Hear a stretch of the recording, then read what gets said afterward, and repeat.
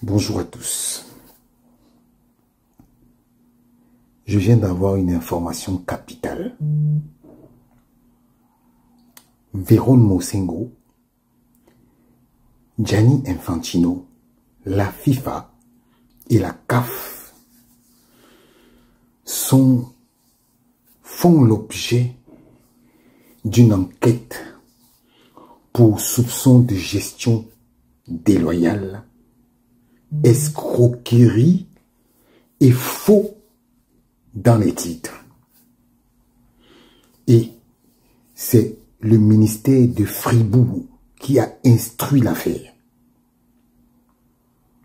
Et ce dossier risque de compromettre la réputation de la Suisse. Vous entendez ce que je vous dis là? Véron Mosengo, Gianni Infantino, la FIFA, la CAF sont mêlés dans une affaire où on parle d'un soupçon de gestion déloyale, escroquerie et faux dans les titres.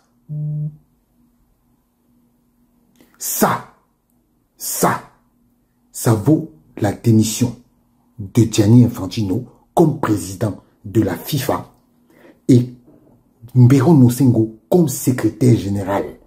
Et en temps normal, quand la CAF est mêlée, Motsepe doit être mis hors d'état de nuire. Voilà les trois personnes qui représentent les institutions dont j'ai parlé, la FIFA et la CAF. Pour le moment, on ne fait qu'ouvrir l'enquête. Parce que ça, ils doivent aller.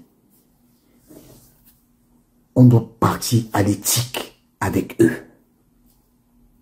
J'ai dit gestion déloyale, escroquerie, faux dans les titres. Voilà. C'est tout pour le moment.